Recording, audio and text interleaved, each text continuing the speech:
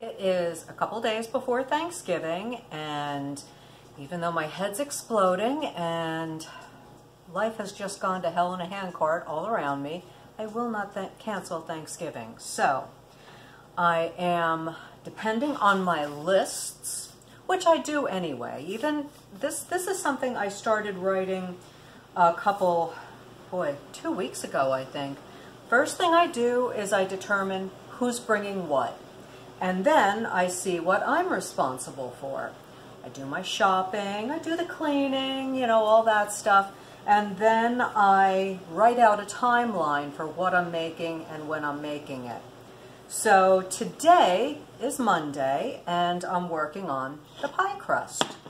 I have a gluten-free pie crust and I have doubled the recipe because one is going to be a pear tart, the other is going to be a pumpkin pie and this gives me enough to do both. They're both going to go in the refrigerator, and I'm not going to bake either of them until Wednesday, which is part two, and it's on my list. So Monday is pie crust and corn muffins. Not sure if I'm making the corn muffins because I find my time is much more crunched than I expected. Um, cream sauce is on the list for today as well because that's something that I could even stick in the freezer if I wanted to. But that, that's kind of going to the back burner also because it's one of those things I can be flexible about. On Tuesday, I will be tofurkey. Okay, so I picked up tofu. I'm doing something with that. I don't know what I'm doing with that. I'll do something. I am defrosting the pumpkin that I already pureed on Tuesday. And then on Wednesday, I will brine the turkey, a vegetarian's favorite part. I will do all the baking, I will prep the veggies, and I'll do any last minute cleaning. That way on Thursday, I get up, I set the table, I do, I, I stick the bird in the oven and do everything else I need to do, and it'll all be fine. It will be fine. I insist it will be fine. I will um, be back in a few minutes to show you, actually, you know what, I'll tell you what the ingredients are right now, and then I'll show you how it looks. This, I because I've doubled the recipe, if I didn't, I'm going to tell you what it is if I didn't double the recipe, and that's the way I'll have it posted on the website. It is two cups of Bob's Red Mill almond flour, which is one of my staples. I've always got that in the pantry. And lately, I'm really digging this one-to-one -one mix. It's versatile, it holds up well, and if you don't have any sensitivities to rice, you know, anybody who can't have grains is not going to have this, but um, if you can, it's, it's really pretty nice. I, I've got the two of them together in this bowl. So I've got, I have four cups of the um, almond flour and one cup of the red mill, but the, the original recipe is two cups of the almond flour and half a cup of the one-to-one. -one. I have two sticks of butter that I've softened. I have, although it's only going to be one for the single recipe, I have water, and for a single recipe it would be two tablespoons. I have Salt, for a single recipe, it would be half a teaspoon. I have vinegar. And for me, today, I used the last of my coconut vinegar. I really love this stuff. It's got a nice mild taste. And if I hadn't used that, I might have used apple cider. Uh, I would not have used balsamic because that's just a little too strong. So this is a tablespoon, and that helps make your crust flaky. The water helps hold it together. And another thing I do that most people don't, I add a teaspoon of sugar, or for me, monk fruit, or swerve, whatever you have. And that's what I'm going to put in the food processor, and I'll be back in a few minutes. So this came together super fast. It is beautiful to behold. This will get divided right down the middle and wrapped in beeswax or whatever you happen to have. And it'll be refrigerated until I pull it out Wednesday night to begin baking.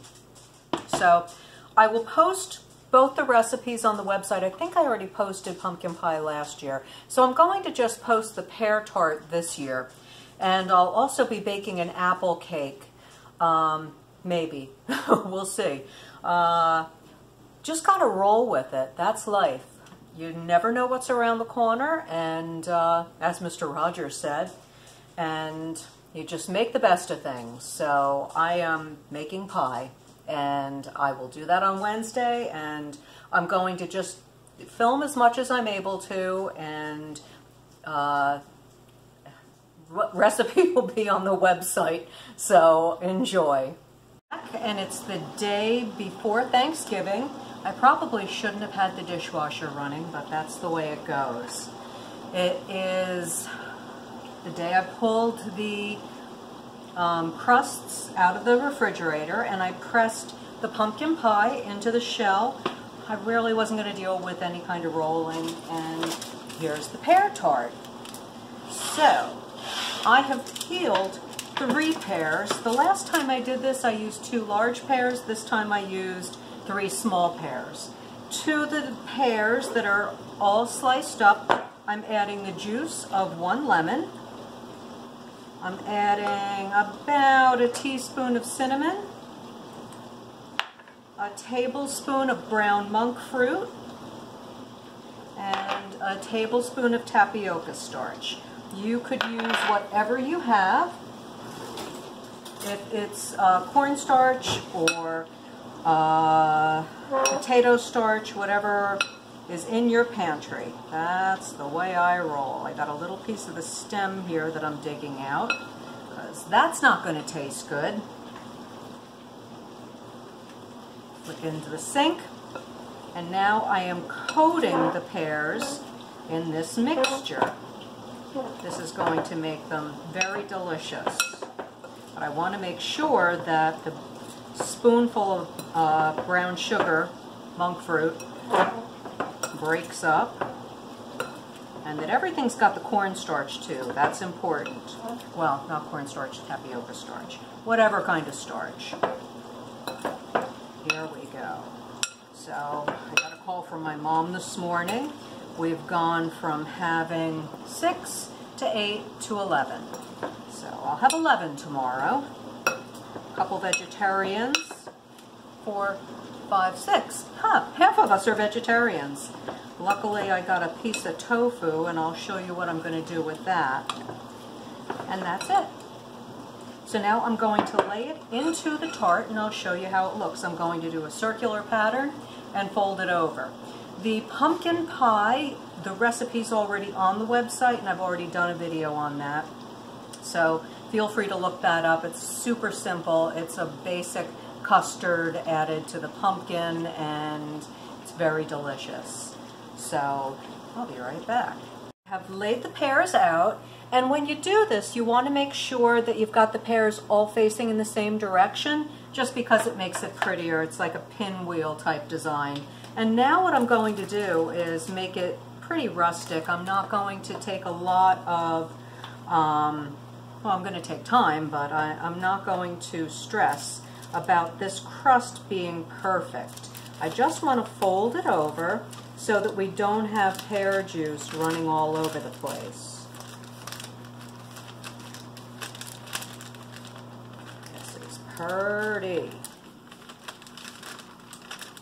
And it's really tasty.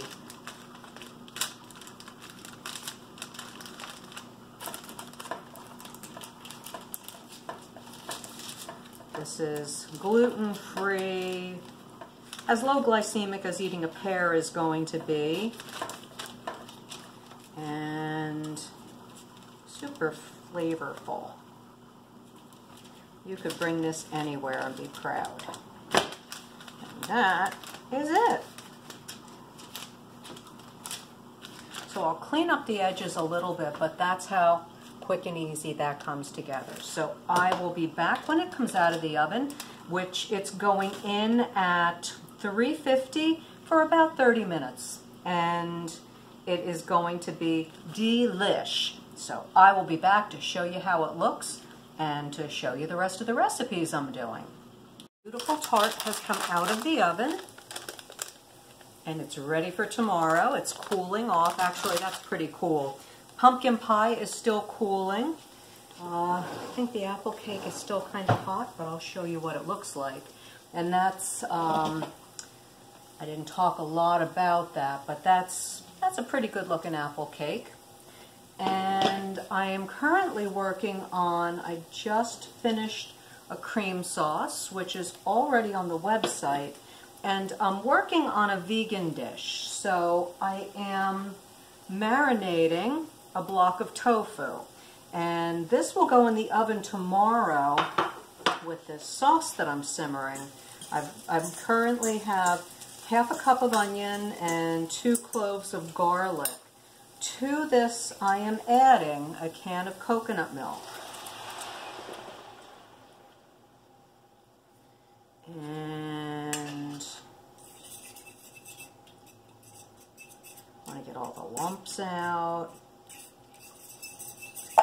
Turn that up a little bit. I am adding two teaspoons of curry powder.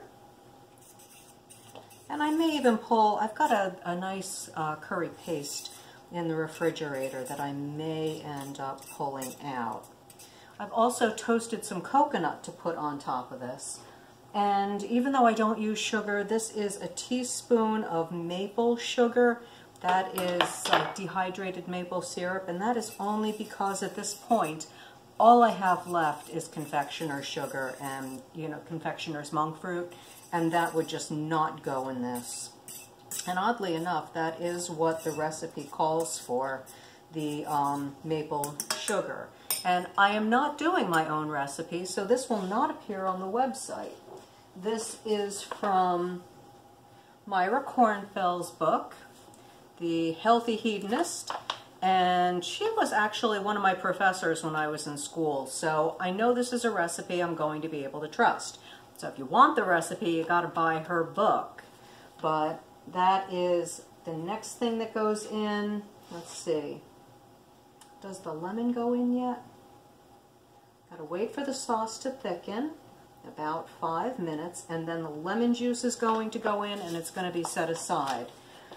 And that is it for me for tonight. I've made the desserts. I will have made the two sauces. I have yet to brine the turkey, but that'll be long enough. It'll, it'll brine overnight. I didn't really want to be bringing uh, turkey into the middle of all this cooking. So the turkey will brine overnight, and my daughter's actually going to come over and cook the bird.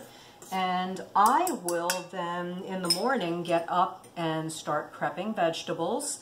And I'll bring you back to show you how this beautiful tofu dish looks, how everything looks, and how I've pulled it all off. So I'll have some of the recipes on the website. Certainly the pear tart will be on the website. And um, I, this, the, the apple cake is really the cake that I've made in the past with apple slices. So that's already on the website. The pear tart will be added. Um, that's probably all I'm going to add. But give them a try and enjoy. Okay, here we are. Here we are.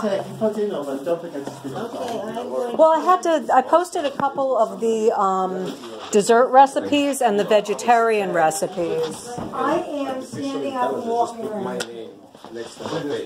Yeah, that's how it works. Well, if you're on Facebook, I'm not on Where do you Facebook, sit that won't actually happen, because I'm not. Right here. Can I sit? No, it doesn't need. I- But Or it'll does somebody else require you?